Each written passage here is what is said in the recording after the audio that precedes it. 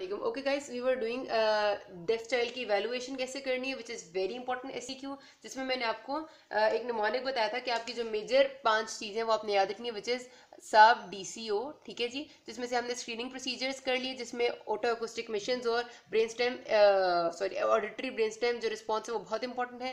फिर हमने दूसरे किए, ये बिहेवियर ऑब्जर्वेशन ऑडियोमेट्री जो बी से होता है, ठीक है। इसमें मैंने आपको तीन रिफ्लेक्सेस बता दी बहुत आसान है। तीसरी होती है हमारी डिस्ट्रैक्शन टेक्निक्स ये भी बहुत ईजी है। इसमें सिंपली क्या होगा कि नॉर्मली जो अप्लाई की जाती है ना छः सात महीने से ज़्यादा जो बच्चा बड़े, बड़ा होता है या छः सात महीने के बच्चे के लिए ना ये आइडियल होती है। एज इसलिए बता रही हूँ क्योंकि आपके सिनेरियो में एज आती है।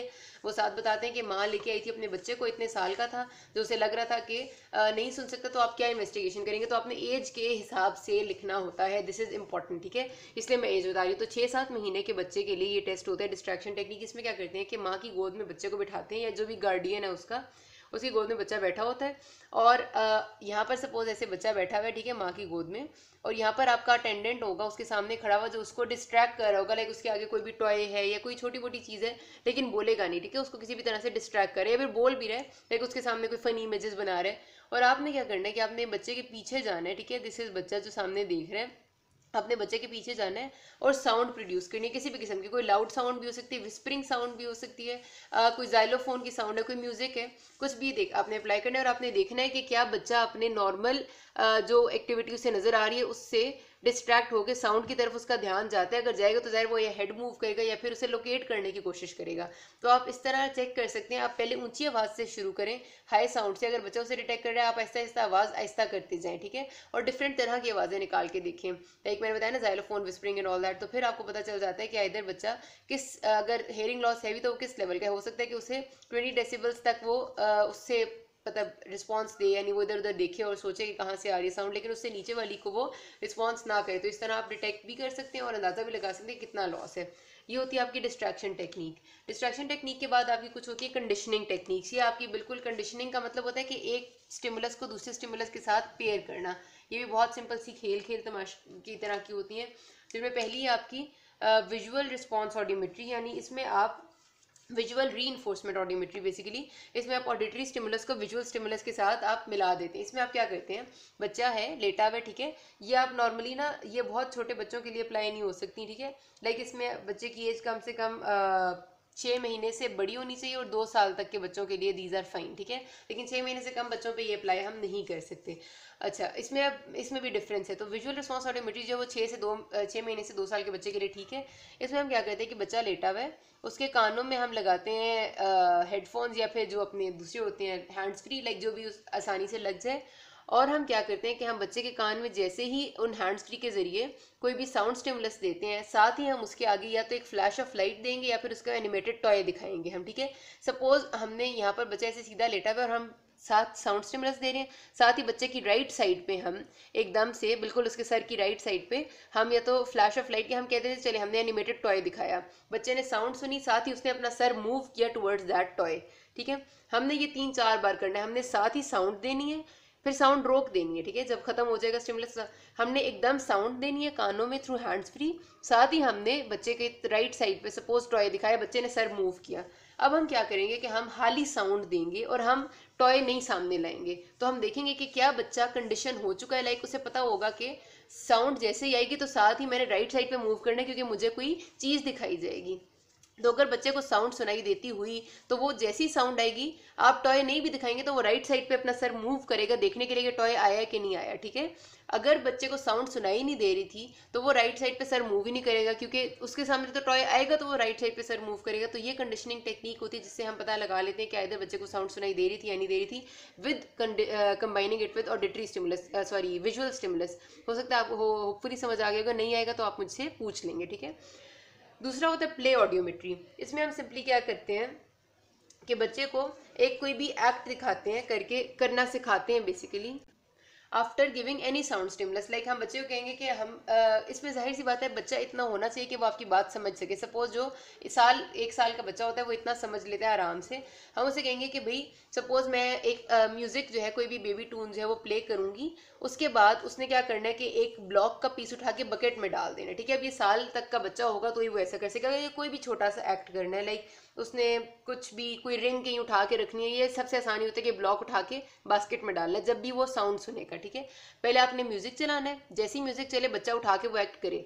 फिर आप दोबारा चलाएँ, फिर बच्चा उठा के एक्ट करे। इस तरह आपने बच्चे को बात सिखानी है। फिर आप म्यूज़िक जब आहिस्ता आहिस्ता उसकी डिफरेंट इंटेंसिटीज देंगे, आप म्यूज़िक आहिस्ता करेंगे, बच्चे को सुनाई दे रहा हुआ तो वो उठा के वो एक्ट कर देगा। अगर मजीद आहिस्ता कर रहे हैं आप, फिर भी उसे सुनाई दे रहा है, तभी वो एक्ट करेगा। लेकिन अगर हो सकता है कि उसे एक हद तक लाइक टेन डेसिबल से कम की आवाज़ नहीं सुनाई दे रही म्यूज़िक की तो वो एक्ट नहीं करेगा। तो इस तरह आप पता चला लेते हैं कि इधर बच्चे को हेयरिंग लॉस है या नहीं और कितना हेयरिंग लॉस है। तीसरा होता है स्पीच ऑडियोमेट्री अब ये इतना ही बच्चा स्पीच ऑडियोमेट्री परफॉर्म कर सकता है जो बोल सकता हो, ठीक है? लाइक आपका दो साल तक का बच्चा जिसकी स्पीच किसी हद तक डेवलप्ड हो, वो इसमें आप कर सकते हैं। इसमें हम बच्चे को कहते हैं कि हम जो कह रहे हैं लफ्ज़ उन लफ्ज़ों को वो रिपीट करें, ठीक है? और डिफरेंट स्पीचेस हम डिफरेंट तरह से डिफरेंट लफ्ज़ बोलते हैं। ज़ाहिर है, मुश्किल सेंटेंसेज नहीं, कोई आसान सा कुछ भी लफ्ज़ जो बच्चा रिपीट कर सके। सपोज़ मामा पापा ही कह दिया, या फिर एप्पल बॉक्स वगैरह। अगर बच्चा आपकी सुन सकता है और कितनी आवाज़ तक आपकी सुन सकता है तो उस हिसाब से वो रिपीट करेगा और आपको अंदाज़ा वो लगा लेते हैं कि हेयरिंग लॉस कितना है।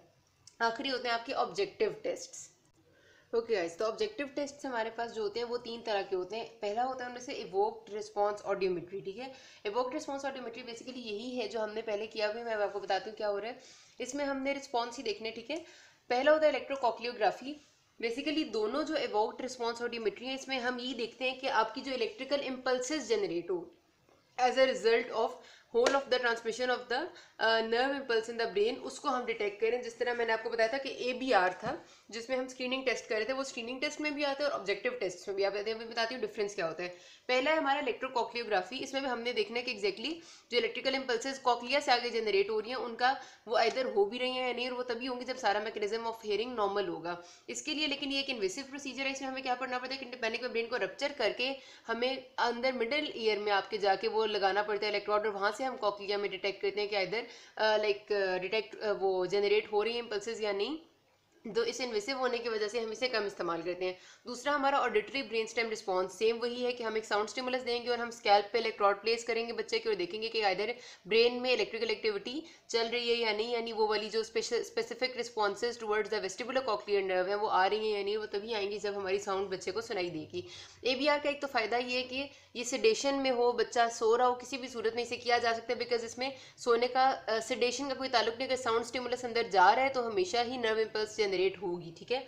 दूसरी बात इसमें यह है कि जब हम इसे स्क्रीनिंग टेस्ट के तौर पे करते हैं तो हम क्या करते हैं कि 40 डेसिबल्स एनएचएल यानी अगर नॉर्मल हेयरिंग लेवल से 40 डेसिबल्स ऊपर की आवाज़ भी बच्चे को सुनाई दे रही हो तो हम कहते हैं कि बच्चा पास है। लाइक स्क्रीनिंग टेस्ट में हम उसे इतना ही कंसिडर करते हैं। लाइक हम ज़्यादा डिटेल में नहीं जाते। ए में बेसिकली आपको ना वेव्स नज़र आती हैं। वन टू फाइव वेव्स होती हैं जिनको आप डिटेक्ट करते हैं, ठीक है? ये बहुत डिटेल हो जाती है, इतनी आपको ज़रूरत नहीं है पढ़ना बस इतना याद रख लें कि वेव्स डिटेक्ट करनी होती है, लेकिन स्क्रीनिंग स्क्रीनिंग टेस्ट में हम नॉर्मल हेयरिंग लेवल सपोज़ करते हैं कि हमारा ट्वेंटी डेसिबल्स है। अगर उससे फोर्टी डेसिबल्स ऊपर की आवाज़ भी बच्चे को सुनाई देती है नॉर्मली लाइक ट्वेंटी की नहीं सुनाई देती, लेकिन उससे फोर्टी डेसिबल्स ऊपर सुनाई दे रहा है तो भी हम उसे नॉर्मल कंसिडर करके भेज देते हैं। लेकिन जब हम इसे एज एन ऑब्जेक्टिव टेस्ट करते हैं, तब हम इसकी डिटेल में जाके इसको बारीकी से देखते हैं और देखते हैं कि नॉर्मल हेयरिंग लेवल की साउंड बच्चे को क्यों नहीं सुनाई दे रही, फिर इसकी वेव्स को हम स्टडी करते हैं तो हमें अंदाज़ा होता है। तो ये डिफरेंस होते हैं ए बी आर यहाँ करने में और A B R screening test में करने में। दूसरी हमारा टेस्ट होता है ऑटोकोस्टिक एमिशंस ये भी स्क्रीनिंग टेस्ट का पार्ट है। तो इसके भी फिर दो आगे पोर्शन होते हैं, ठीक है?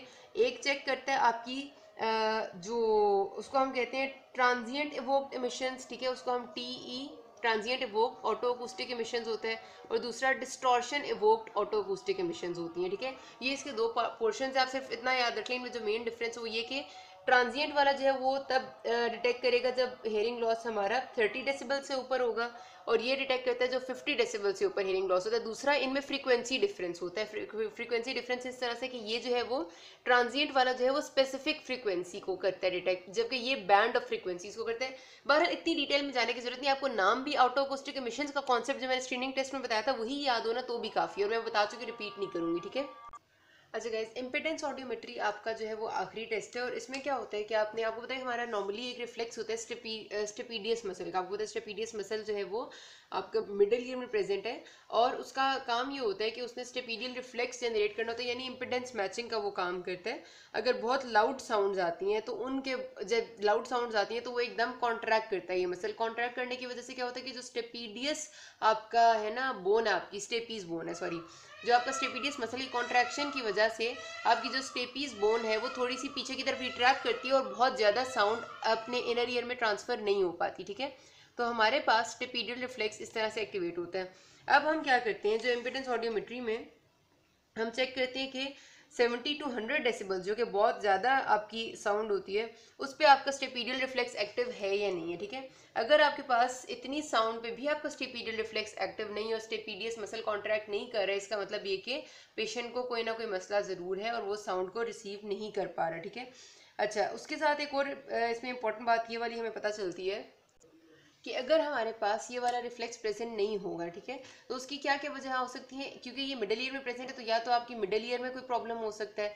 दूसरा, आपकी कोई रिट्रोकॉक्लियर लीजन हो सकती है। रिट्रोकॉक्लियर का मतलब है कॉकलिया के अलावा कोई लीजन होगी। कॉकलिया में अगर लीजन होगी तो आपको उसके टेस्ट अलग तरह से मिलते हैं, ठीक है? रिट्रोकॉक्लिया का मतलब है या तो नर्व में मसला है एट्थ नर्व में मसला है, जिसकी वजह से, या आपकी सेवन्थ नर्व में बेसिकली मसला है बिकॉज़ आपकी जो फेशियल नर्व है सेवंथ क्रेनियल नर्व है, वो आपकी स्टेपीडियस मसल को सप्लाई करती है।